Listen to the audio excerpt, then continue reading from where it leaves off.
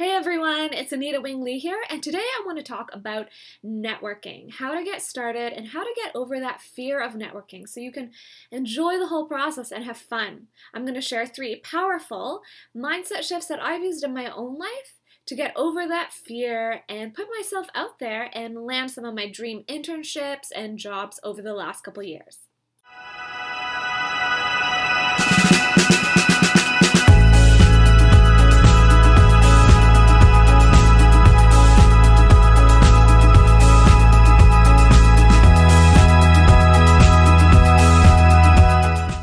Mindset shift that really helped me learn to enjoy the process of networking and putting myself out there is something that I learned from Susan Cain, who wrote the book Quiet The Power of Introverts. And she invites us to think of networking as just going out there and finding our kindred spirits. That's it. It's like we're going out into the world to find the people that we're meant to be best friends with and they're waiting to meet us too. And so whether it's, you know, sending emails, meeting people in person, or through social media, uh, the second mindset shift is that I want you to realize that there are people who want to know you. There are people who have been waiting their whole lives to hear your message and and to have conversations with you and have coffee with you and and enjoy meals with you and share their life story with you. There are people who want to hire you. There are jobs that you are uniquely qualified for. Maybe you think you're not qualified, you're not smart enough. All of that is baloney. There are jobs out there that are exactly meant for you. And this was my own experience. I found, you know, when, with my travel internships, I thought that I had all these crazy travel experiences. Nobody would want to hire me. Who's going to want this crazy girl with all these random eclectic travel experiences on her resume? And in fact, those turned out to be exactly what qualified me for the next internship. So know that everything that you've experienced up until this point actually makes you more qualified for what you want to do.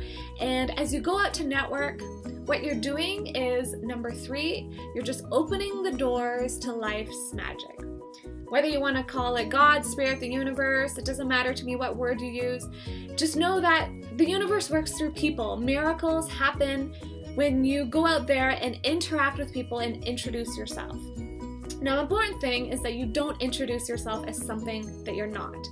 The reason that networking tends to have a bad rap is people think of it as going to events that you don't want to show up at, with business cards that don't reflect who you are, introducing yourself as something that doesn't feel true to you. That is not networking. Networking, in the sense that I'm talking about, in the sense that really works, is it's just about going out there to build genuine connections, find those kindred spirits, and that only happens when you introduce yourself as who you really are. When you're not afraid to ex- talk about your passions, when you're not afraid to tell people about what you love.